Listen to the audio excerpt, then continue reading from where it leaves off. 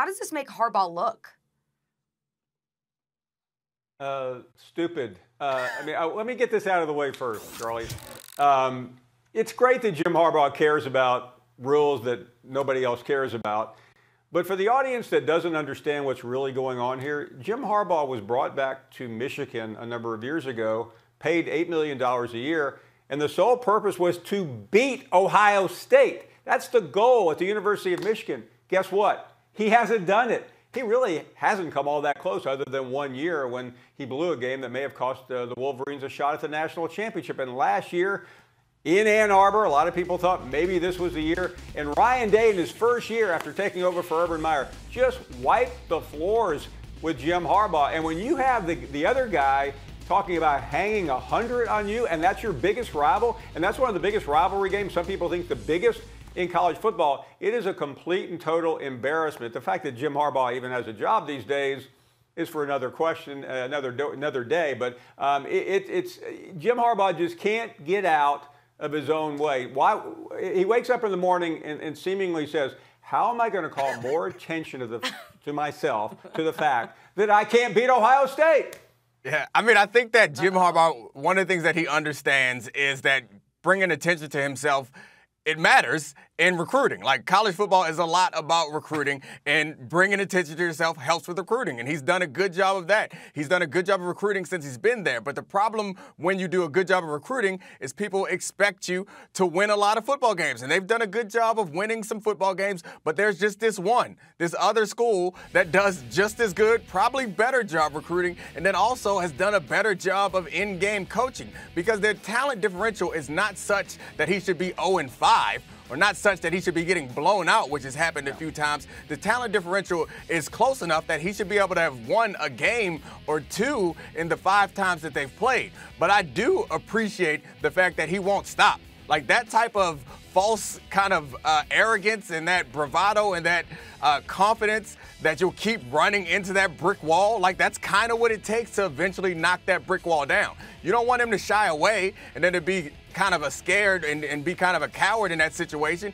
He looks at Ryan Day and Ohio State and he looks at them as rivals and equals. Even though the record record wouldn't suggest that, he believes that. And I think that is a a personality trait that you won't find in very many people except for crazy people. And sometimes crazy people do exceptional things. And it will be exceptional if they're able to beat them this year. But the last thing I'll say is he did put it under the guise of trying to protect the players from uh, the coronavirus. Like he said that the coach was violating the rules, and those rules were put in place to kind of protect guys from passing the virus uh, to their coaches or from their coaches, which does put, protect Ohio State players and also does potentially protect the rest of the Big Ten from uh, teams that might be violating these rules. So he found, because he can't pick on the fact that they haven't won any games, he found some way to get in there and take the high ground and take a shot at Ryan Day. But he still lost that exchange because Ryan Day shot. Call that yeah. the high ground.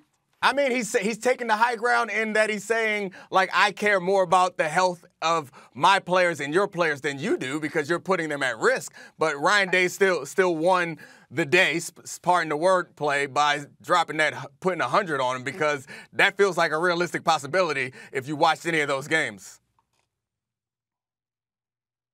And, and think about this. Uh, yeah. It, it is important to follow the rules. I would always subscribe to that, but it's not like Jim Harbaugh called out Ryan Day for, for offering a, a recruit $100,000 in cash. I mean, this is pretty minor stuff in the pantheon of NCAA rules violations. It, I mean, it, it's petty.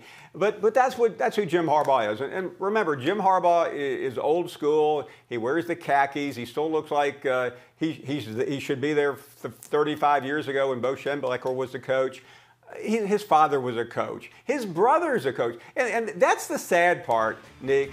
Jim Harbaugh, as famous as he is, is not even the best known coach in his family. His brother's the one that won the Super Bowl. And remember who he won it against?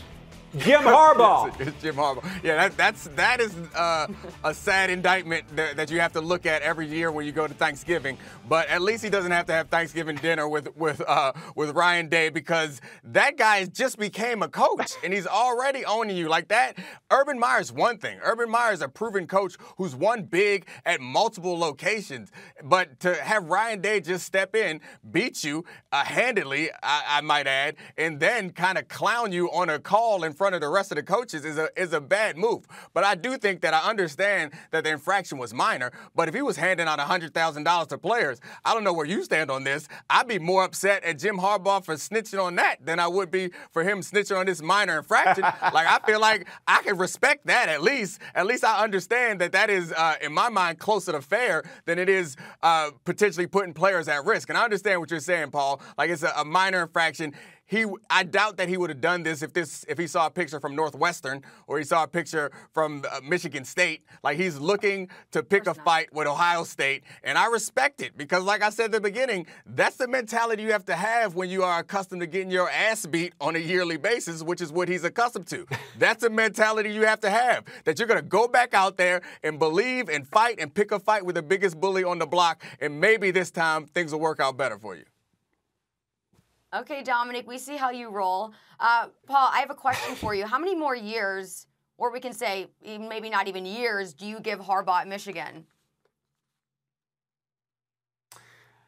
Man, I've, I've answered this question wrong so many times because every time it, it seems like it ought to be over, the Michigan fans accept it. And, and by the way, I heard on, a, on another show this morning uh, that Jalen Rose, who's a Michigan man, has gone ahead and predicted Jim Harbaugh to win next year. I mean, that, that may be the funniest thing I've heard. I know we're all looking for a good laugh these days. Thank you, Jalen, for making my day. Really? Um, but uh, Michigan does not want to fire him for a couple of reasons. He, he does go by the rules, that's obvious. Uh, he, he has not brought embarrassment to the school other than that annual game with Ohio State. Thanks for watching ESPN on YouTube. For live streaming sports and premium content, subscribe to ESPN Plus.